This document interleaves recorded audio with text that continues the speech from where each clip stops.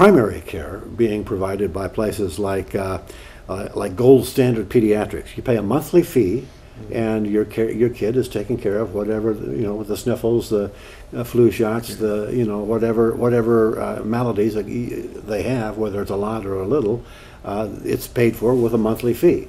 And the physician and the family have an No, but again, no insurance. Well, the- the family and the um, uh, clinic or physician have an incentive to keep people healthy, to do things that will. To keep the cost down. Exactly, the- of the- course. It's good for everybody. The problem, though, is, and it gets, get, gets back to that, the old eating the young. The reason that specifically was excluded from Obamacare, in fact, forbidden from Obamacare, is because it is, you make a market choice. You're 25 years old, you say, great, I'll do this, and I'll use this amount. The problem is it didn't collect enough money to pay for the 60-year-old. And that's, And the whole concept of Obamacare was using the young to pay for the old. Exactly. Uh, Basically taxing, grandparents taxing their grandchildren. Well, that helped uh, keep us from electing, uh, what's her name, Mrs. Clinton to a high office once again. Uh, th- th- That's, that's worth, that's worthwhile. That's a Yeah. relief. Yeah. And there's a, oh, I I guess I mentioned Medibid, where you could Yeah. go online and well, get and it, prices. uh, And-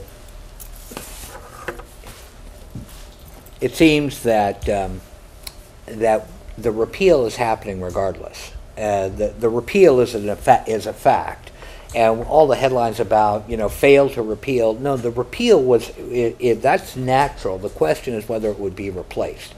So the You mean it's- Republicans. it's natural in the sense that uh, all of the, uh, many insurance companies are saying, no more, we're not going to insure in this state, that state, or the other state. Uh, And in the sense that there are doctors who are saying, no, we're not going to take Medicaid, we're not even going to take Medicare anymore because we just don't want to deal with the back office problems. And uh, no, we are going to go to a a fee-for-service model, uh, which, uh, we- you know, or, or we are going to, another, another method that's been used is where uh, religious groups will say, uh, we will, you know, pay in and, and, and pay out uh, based on, uh, based on, uh, on need, you know, pay in a certain amount and pay out. Well, if the on- on federal need. government isn't gonna put money in, and they're No, not gonna yeah. enforce the mandate, there's no money coming in, and so it's colla- and Yeah. all that the government had to do was just not do anything, and it was repealed. Right. Uh, I have two metaphors for this business about replace. And my view is that government meddling has created a lot of these problems. One, when a surgeon excises or removes a cancer, a tumor, he doesn't worry about what it's going to be replaced with. Doesn't replace it with And- anything. And Thomas Sowell said, when a firefighter puts out a fire, he doesn't worry about replacing it with anything. It solved the problem. And we solved the problem of, of, uh, of Obamacare by repeal, period, no repeal and replace, forget about it, and forget about the people who are going to scream and holler and complain, because it's really a very small number. And that's the show. We'll see you again next Very week, good. same time, same Excellent. place on Libertarian Counterpoint, on the uh, uh, air at uh, Channel 17 in Sacramento, on uh, the web at www.accesssacramento.org, uh, on YouTube, and on uh, cable channels all over the place. Make sure you're listening at 8 p.m. on Thursday nights, noon on Fridays, and 4 a.m. on uh, Saturday morning. Uh, tho- Those are all Pacific Standard Time, and, you know, adjust your, your, your viewing habits depending on where you're watching. Terrific. Thank you very much, Lee Welter. Thank you very much, uh, Phillip Larrea, for being on the show. Thank you, Richard. Welcome to the Libertarian Counterpoint. I'm Richard Fields. On the program today, we have Phillip Larrea and Lee, Lee Welter. Lee Welter is a- an emergency EMS instructor and a physician, and uh, we have uh, Phillip Larrea, who is the editor of Minute Dot and uh, a book of poetry, brand new, brand newly published, called Part-Time Job. Welcome to the show. Um, we, I say we, I had a modicum, a sliver, a very tiny sliver of hope that Trump would not turn into the neocon that all of his predecessors have been, and I'm talking about all of them Obama, uh, Bush the younger, Bush the older, uh, Clinton, they were all neocons in the sense that they would, couldn't find a, a war they didn't want to fight to support the military industrial complex. And I thought that uh, the, some of the campaign rhetoric that we heard from Trump saying, we're going to uh, leave Assad alone, we're not going to get our, you know, mired down in some of these, some of these uh, hellholes in the Middle East. I thought maybe he was serious, maybe he'd be able to do that, but Assad allegedly, and I say allegedly because I think it may have been a false flag, allegedly gassed some people, 80, 90 people died of a gas attack somewhere in Syria.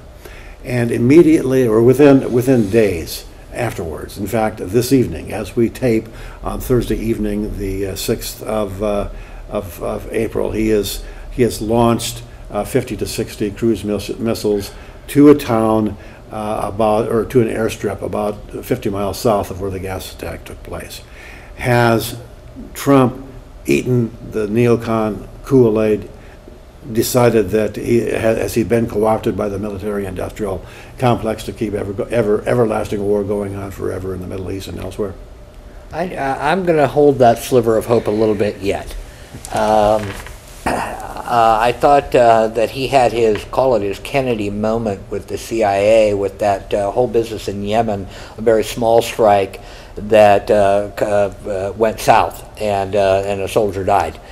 And uh, there was a sense that, hmm, you know, that uh, he got bad information, he approved it, it went a little south. Um, I think that in this case, in this bombing, that he said, "Look, I've got to do something, and so here is my something, and it costs very little to do it." And I think he walks away from it. Uh, the It's symbolic, in other words. it was a s- it was, it was This exactly. uh, symbolic killing of, uh, Well, you have to, you know, we have, we have adopted a very nuanced view in, in the West of what a war crime is, apparently. I was reminded, with with this, I was reminded that the very last thing that Obama did with less than 48 hours in office, was a symbolic killing. well, those were 200 people that he killed. Yeah. Uh, those, that, those are uh, in Syria and Libya.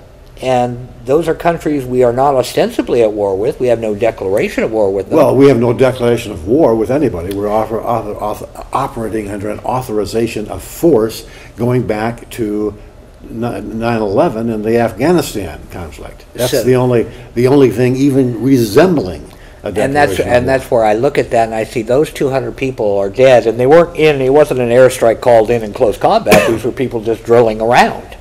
Uh, and you know, with 30, 36 hours left in office, one can only assume he did it just because he could. You know, there was no strategic reason why it had to be done at that moment and not, you know, for the next president.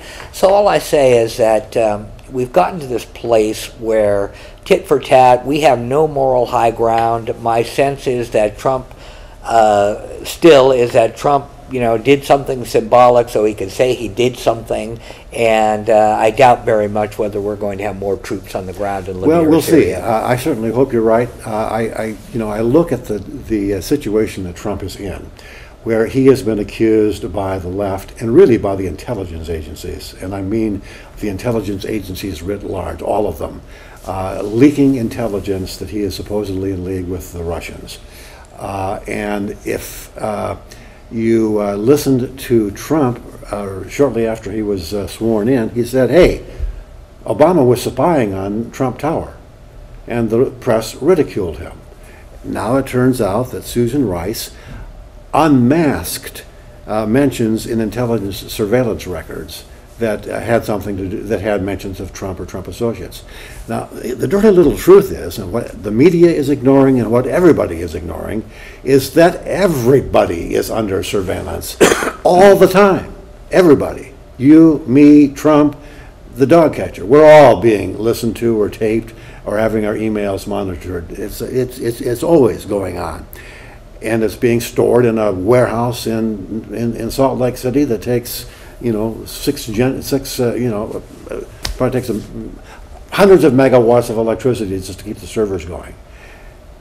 That being the case, there is nothing that anybody does that can't be unmasked to their detriment. And so what Susan Rice did is she said, okay, let's figure out where anybody by the name of Trump or a Trump associate is mentioned.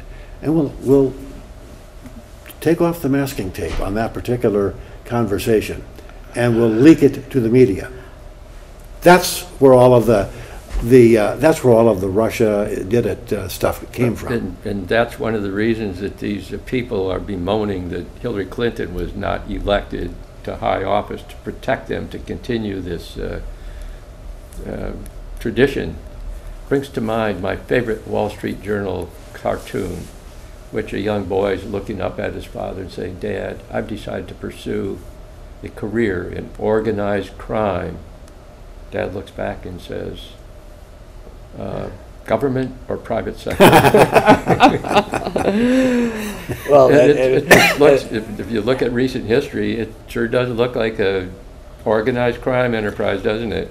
Very Well, well yeah, organized Exactly, exactly. And, and what we're looking at is the, a surveillance state in league with a warfare state, uh, an arms industry, that does everything they possibly can to keep Alexandria, Virginia in high clover, uh, to keep K Street in high clover, to keep the suburbs of Washington DC, the most prosperous suburbs in the country, bar none, which never get a recession. Uh, because people who are, who benefit from constant warfare, who benefit from constant conflict, who benefit from constant uh, lobbying back and forth between the Democrats and the Republicans and the rich and the poor and class against class and uh, race against race, etc. those people will benefit as long as conflict continues. As long as, if conflict ends, they're out of a job because they don't have the brokering to do, they don't have the uh, weapons manufacturing to do, they don't have the uh, spy material to collect, nothing left to do. They have to go back to uh, uh, Idaho and, and, and, and uh, raise potatoes or something. Well, one of the things that I thought was somewhat ironic about that is there was a big hullabaloo about um, uh, the Senate overturning the Obama era privacy controls on the internet. And it was, oh my gosh, how could they do such a thing? And I, well, who is it? I, you know, if I if I look at a pair of shoes, Google knows about it. Where is my privacy to begin with? And so the whole deal was that they were going to be able to sell the information from your searches to advertisers and such. You mean that's not happening already? And so for all of the hullabaloo, I think, well, so what you're saying is that Comcast, now Comcast can make the money instead of Google. Sometimes they're not very smart. I mean, I, I, I or just anecdotally, I uh, uh, decided to uh, climb Kilimanjaro uh, in October. So I Wonderful. went to a company called Ultimate Kilimanjaro to book uh, a, a guide to climb Kilimanjaro, right? And ever since I did that, after I bought and paid for the uh, the guide, I keep seeing Ultimate Kilimanjaro ads pop up on Yahoo, pop up on Google, pop up on uh, Facebook, wherever I go. There's a that stupid ad is following me around. I'm not in the market anymore. Sort of like that character in uh, uh, Little Abner comic strip, Joe, I guess Yeah. it was his name, with the Yeah. little black cloud that Yeah. followed him everywhere. Yeah. We're all That's stuck yeah, like that, aren't yeah, we? exactly, And exactly. th- this business of surveillance brings, of surveillance brings to mind a, a superb movie titled The Lives of Others about life in East Germany with the Stasi keeping track of everybody. Yeah, and that was they, and they did everything manually. I mean, they they- did, they did you it know, the hard way. They did it with you know eavesdroppers and snitches. Yeah. They didn't have the the, uh, the you know an old-fashioned wiretaps to the extent they had phones, which weren't weren't all that prevalent. Now it's all automatic. It's all it's all you know. Yes, but- all you got to do is is go- do a Google search and find out what Phillip was talking about to his uh, ex-girlfriend 30 years ago. But the, the- the nice thing about the movie, unlike our current situation, is that it had a relatively happy ending. There was a touch of humanity in the system. Yeah. I'm not sure we have that anymore. Yeah. In fact, we, we, could- we missed our opportunity. There was a very selfish gentleman named uh, Gary Johnson who intended to keep us out of war except for defense and had some other great ideas, free market ideas. My favorite Facebook meme these days is uh, running a picture of Gary Johnson saying, "Uh, "Don't you wish you would have made a different decision?" Oh, send it, I need to, need to post that one. Don't blame me, I voted for Johnson. Any- anyway, about one thing that, that Trump has done, which I totally support, is nominate Neil Gorsuch for the U.S. Supreme Court. This is a guy with pristine judicial qualifications. Now, that's not to say that I agree with him on every issue, because I probably don't. But nobody exists that I would agree with on every issue uh, that will come before the courts. But as far as judicial temperament, as far as uh, ability and quali- qualifications, you name it, this guy, this guy is probably one of the best nominees that we've seen in decades.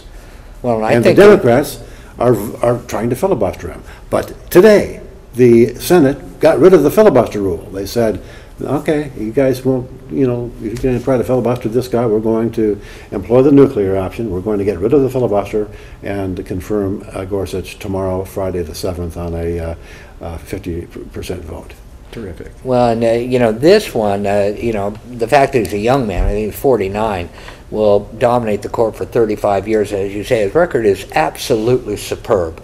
And I think it shocked people. It was one of the first major nominations that uh, Trump had announced, and I think people were shocked at how good it was. And even the Democrats were a little nonplussed. That it was hard to get any traction on Gorsuch. That they could say, by golly, he's a, you know, an anti-women. They are using um, uh, euphemisms for what I think is really going on. Everybody elected to office promises to protect and defend the Constitution. But we know that the Neil Gorsuch is going to truly protect and defend and honor this Constitution. The purpose at its, at its root of the Constitution and Declaration of of Independence are to protect our fundamental human rights from government. It's legitimized And he actually government. understands that and has enunciated that. That's why they hate him. sentiment. They don't like that. They don't want government to be limited and uh, But integrity he, isn't but he's essentially just replacing Scalia, who was the same way. Yes. Uh, And- and, and Probably not quite as uh, flamboyant or or quite as uh, originalist as as Scalia, but close, but, yeah, but, but better looking. yes.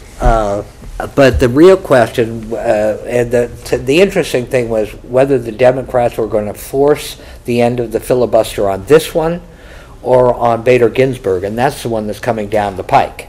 Yeah, And so right now, you've yes. got the same thing that we had with Scalia. Well, yeah, But right now, right now, the court, the balance of the court doesn't change with the Gorsuch nomination. Exactly. The next nomination is almost certain to be, uh, uh, to replace one of the liberal members of the court, uh, of of the court, and that Breyer or or uh, Ginsburg. And that will change the, uh, the, uh, the balance on the court, or Kennedy. And the that matter. Democrats couldn't decide whether to fight this battle or, or by letting this one go, be a little more conciliatory, because he's a superb choice. Yeah. They may have been able to, um, that may have been that catalyst to say, hey, we can, you know, the, when Bader Ginsburg retires, then, you know, appoint someone somewhat like Gorsuch. Don't give us, you know, you know, Clarence Thomas.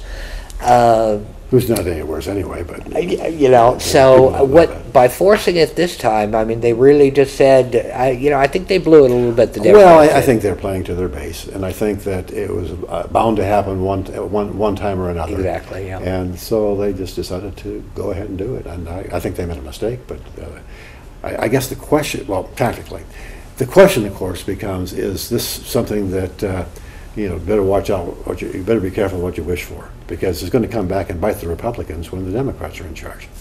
Well, I think that he has, um, you know, his record is as a uh, constitutionalist. No, no, I'm not talking about Gorsuch now, I'm talking about, uh, the process. two years from now, or four years from now, when the Democrats take over the Senate, if they do. If, And you Then know, there was, that was never going to be any different anymore. I mean, here we are. Um, uh, uh, there was never going to be a time of part of uh, bipartisanship. The ultimate question that I'm getting at here is, should Supreme Court nominees have a 60% vote as opposed to a 50% vote? Is there any reason why there should be a supermajority vote to uh, nominate a a justice? Not when it means, especially that you've had a vacancy for how long now? You know, about a year. Well, don't tell that to the Democrats, they'll come start whining about Merrick that, Garland. that's, they've yeah. been whining a lot about Uh, that. But, but- but Merrick did not get through because the Democrats lost the Senate. The Well- Democrats lost the Senate for a reason. Yes, Yeah, well, and also Merrick Garland was an awful nominee when it came to administrative law. He did not, he, he never saw an administrative ruling that he would not wholeheartedly support. He, he was all about deference to uh, bureaucrats, which is, which is death to freedom. But it wouldn't have made any difference. If, if the, if the Democrats had 52, as they had control of the Senate, if that had all happened five years earlier. Yeah. Uh, so, you know, uh, fortunately, all, the entire court is getting younger. So we Between said one Robert thing- Toledo and, Yeah, we've, we've said one thing that we like about Trump, and let's talk about something that at least I despise about Trump. It's called the border wall. And just w- among many other reasons for despising the border wall is the fact that uh, a real, the real border wall losers will be not immigrants, not natives, but ranchers, homeowners, anybody that else, anybody else that uses property along the border, which will have to be acquired by eminent domain and probably at fire sale prices.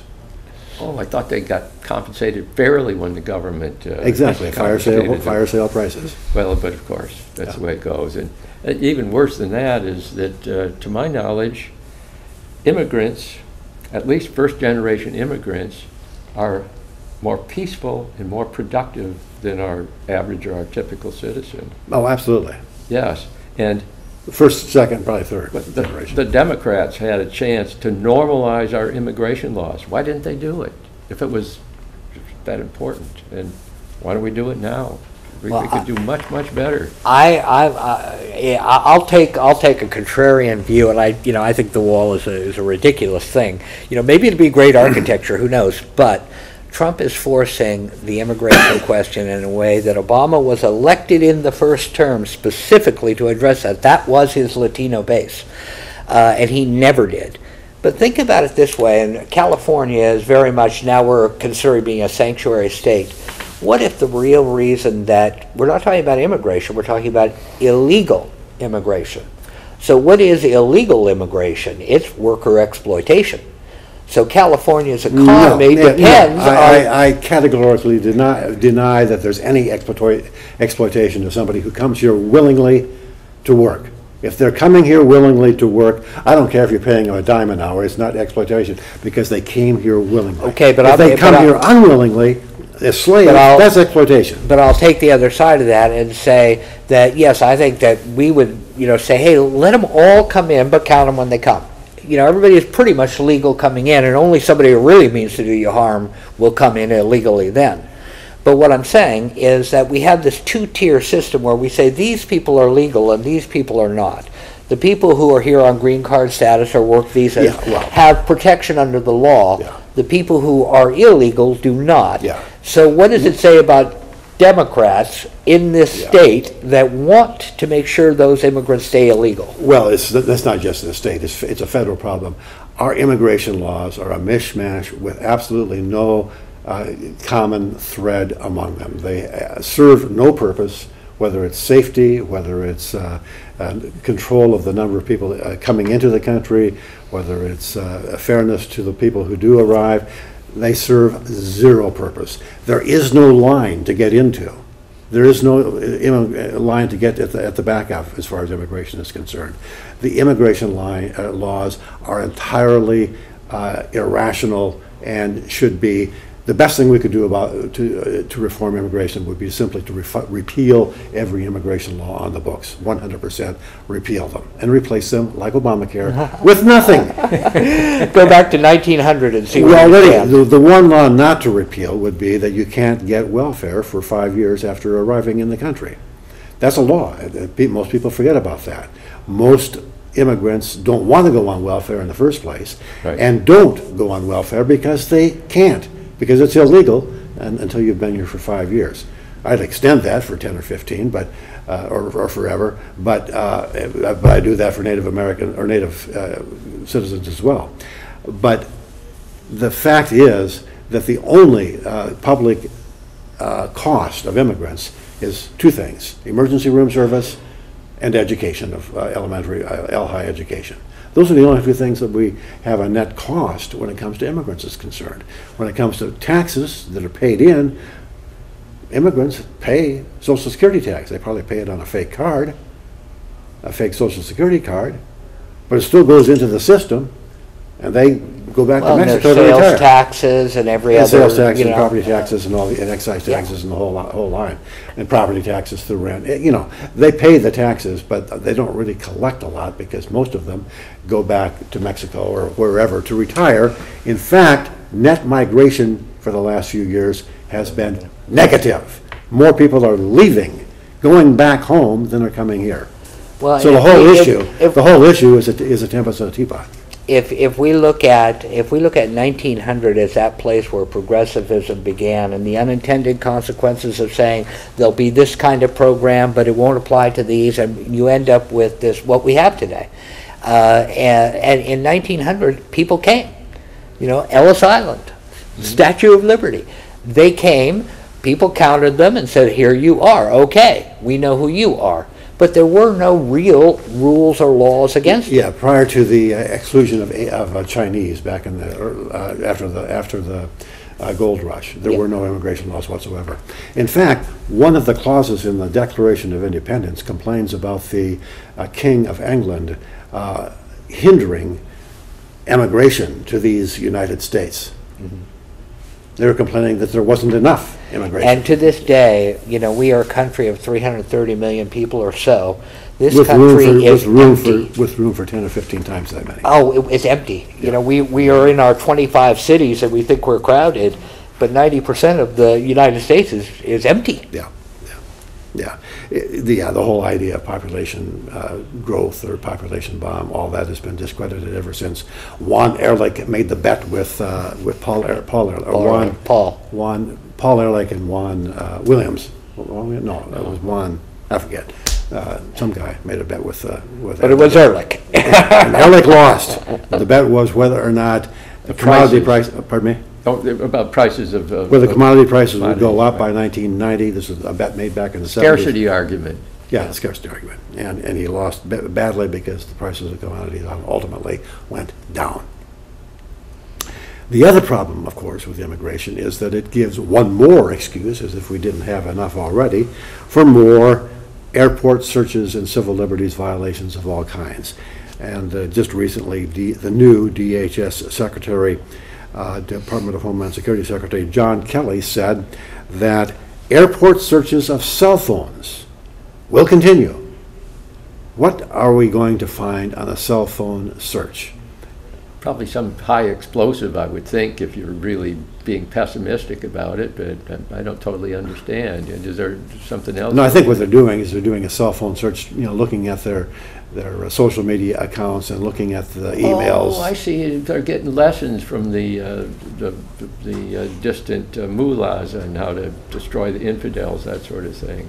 Yeah, yeah, something Well, like that That seems sort of crazy, doesn't Well, it? think what that- they're, think what the- they're the- saying is there is some sort of um, credible threat that has come across in various, you know, all the various intelligence agencies saying that they're apparently implanting bombs inside of laptops.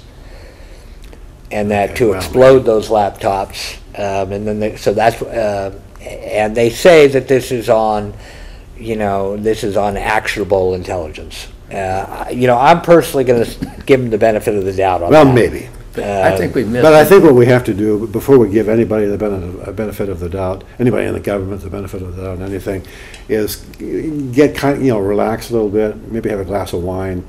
Uh, in fact, Yale School of Medicine professor Gordon Shepard, man after my own heart, says, drinking wine save, gives the brain a workout, uh, engaging the brain more than music or solving math equations. But you got to swallow the wine. As a medical doctor, is he, uh, is he uh, talking good medicine?